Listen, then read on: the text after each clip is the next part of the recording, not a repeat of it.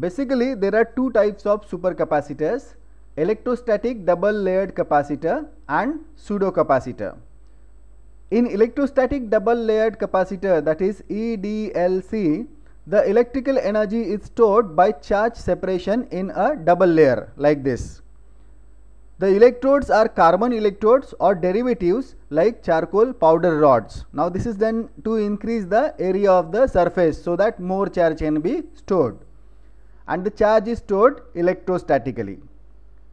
In pseudocapacitors, the energy is stored electrochemically due to the charge transfer between electrode and electrolyte.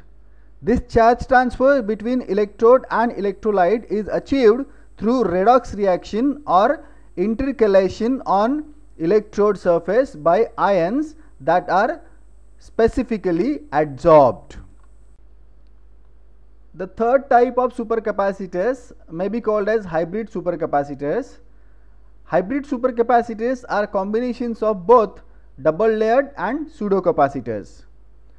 The electrodes here are asymmetric where one of the electrodes exhibit electrostatic property so the charge is stored electrostatically on one side while the other electrode exhibits electrochemical capacitance. So, on the other side the charge is stored electrochemically. Both pseudocapacitance and double layered capacitance make inseparable contributions to the full capacitance of an hybrid supercapacitor. So, in hybrid supercapacitor electrostatically also the charge is stored and the charge is stored electrochemically also. So, both the methods both the processes are involved here. Thank you for watching this video. If you like this video then please subscribe to the channel so that you will get timely intimation of new videos uploaded to the channel. Thank you. Thank you very much.